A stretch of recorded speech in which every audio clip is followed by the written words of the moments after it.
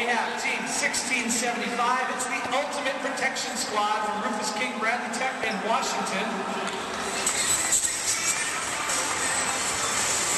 Next to them is Team 2949. It's Pwnage from Batavia, Illinois.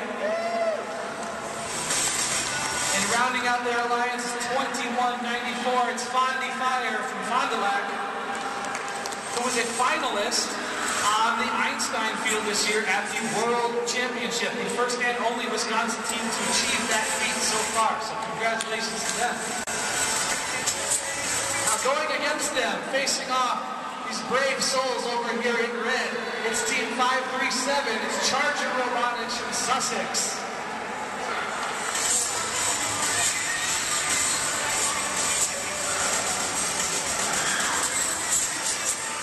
So as we get the field buttoned up here, what's going to happen here is the first 15 seconds are completely autonomous. That means the drivers are not touching the controls and the robots are acting on their own. Every ball that is put in the top hoop is worth six points, the middle hoop's five points, and the lower hoop's four points. After those 15 seconds, we have two minutes of driver control mode, where it changes to three points, two points, and one point. And the team's going to be trying to put in as many baskets as they can. Now in the middle of the field here, you see three bridges and a bump that separates the two sides of the field. At the end of the match, if a robot ends on top of their colored bridge, they'll earn their alliance an extra 10 points. If two robots end on the bridge, they get 20 points. If all three end on the bridge, it's 40 points. Let's see what we've got in store. Are the blue teams ready? Blue teams, you ready? Blue teams. Red team, are you ready?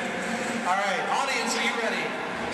All right, here we go. In three, two, one, go.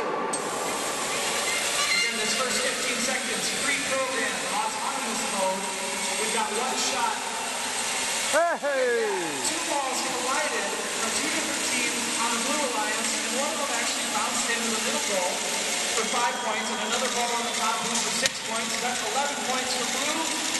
We had a ball in on the red, so that is six points there. So we have an 11 to 6 lead for blue. And now we're in driver control mode. Fondy Fire tips over the bridge and gets all those balls still on their side of the field. So all the robots right now are trying to collect balls. They can each only collect up to three balls before they have to go score them. Each end of the field has a human player who's allowed to inbound the balls and return them to the field. So here comes the Chargers. They've got two balls ready to go. Let's see if they can score them. Meanwhile, Fondy Fire has three, and Pwnage has a couple of their own. UPS is over in the corner trying to find some balls and things going over there. Pwnage puts up some shots, but unfortunately they all miss. Let's see if Fondy Fire can do a little better. They put one up. It's in. Here comes another. It's in as well. Meanwhile, Charger Robotics down on the red side, they put a couple. Fire's three for three. That's a quick nine points. So they've got 20 points. Chargers over here keeping it keeping it close on their side. They put in another three, so that is eight points to them. Remember, those balances can change the game. We've got 50 seconds remaining.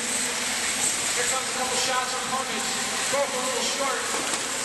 Fondy Fire comes with a couple more. UPS trying to still to see if they can find something. Charger takes a shot. It's a little long.